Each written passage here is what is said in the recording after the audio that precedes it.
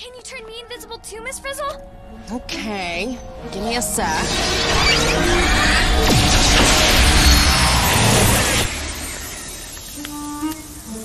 Haha. Thus, is this your idea of a yolk?